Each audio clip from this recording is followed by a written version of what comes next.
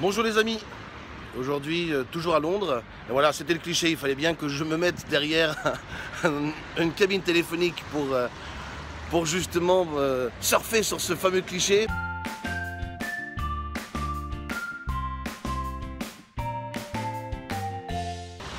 Regardez, il fait gris. Regardez, il pleut. Je suis à Londres, voilà, c'est normal.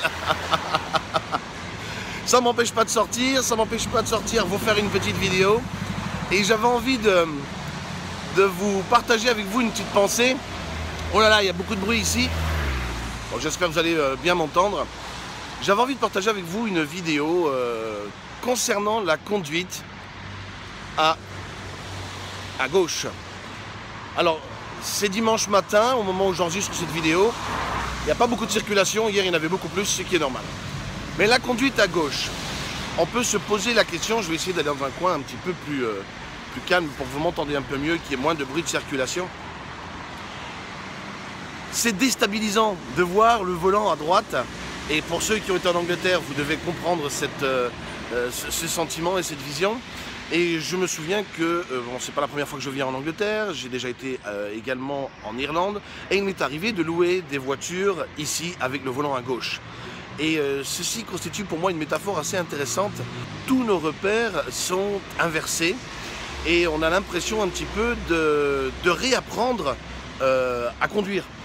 Parce que, comme le volant est à, droite, votre cerveau ne connaît pas cet environnement spatial. Et quand bien même la voiture peut être petite, ce qui était le cas, j'ai toujours loué des petites voitures parce que j'étais pas très sûr de moi. Vous avez l'impression de conduire un tank parce que euh, justement votre repère spatial, le cerveau, n'a pas l'habitude de traiter cette information de, de la sorte. Nos habitudes n'a pas appris au cerveau, notre routine n'a pas appris au cerveau à traiter cette nouvelle information et donc votre cerveau doit s'accoutumer et s'habituer à ce nouvel environnement spatial. Il y a un volant, mais il n'est pas au même endroit. Il y a une boîte de vitesse, mais c'est plus la main droite, c'est la main gauche. Vous avez tendance à frapper votre main droite sur la portière de droite. C'est amusant. Et euh, voilà, et quand, euh, quand on conduit, on doit faire preuve de beaucoup plus de concentration. Euh, faire attention euh, au rétroviseur, faire attention est-ce que je vais toucher la voiture ou pas. Et les repères sont vraiment, j'avais l'impression d'apprendre à conduire à nouveau. Et pourtant, j'ai mon permis de conduire depuis que j'ai mes 18 ans. Ce que je voulais vous dire par là, c'est que parfois dans la vie, nous sommes obligés à nous adapter. Et on peut peut-être penser, oui mais non, mais j'en ai pas envie, oui mais non, mais c'est pas le moment, euh, oui mais non, mais euh, je ne suis pas prêt, euh, oui mais non, mais je n'y arriverai pas. À un moment donné, le fait d'être dans une situation qui nous force à devoir changer, nous oblige à faire des efforts. Et le fait d'être plus concentré sur les choses qui se passent autour de nous, nous font vivre l'événement de façon différente. Cela prend une autre proportion. Euh, on a l'impression que tout est démesuré. Comme cette petite voiture, j'avais l'impression de conduire un tank. Eh bien, dans la vie, c'est à peu près pareil. Parfois, la vie nous pousse à vivre des situations inattendues, des situations qui sont complètement à l'inverse que ce que nous avons l'habitude de vivre.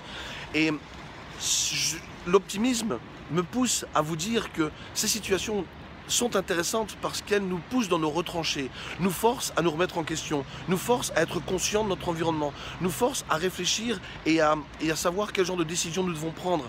Et le fait d'être plus conscient de son environnement, eh bien, on le voit différemment et ça nous aide à prendre d'autres décisions. Ça nous aide à, nous surpasser.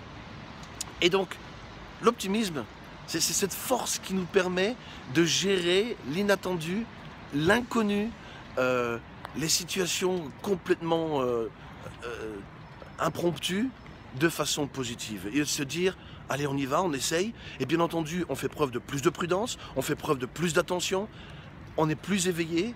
Et au fond, quand on le fait et quand on réussit, on est tellement fier de soi, on est tellement content de, de l'avoir fait. Et on se dit, yes, je suis encore un héros et encore une victoire à mon palmarès.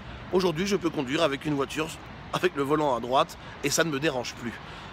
Je vous dis, ne résistez pas au changement. Je vous dis encore, je vous dis, ne résistez pas au changement. Accueillez le changement avec, euh, joie, parce que vous allez en sortir plus fort, plus intelligent, plus éveillé. Simplifiez-vous la vie et soyez heureux. Au revoir les amis.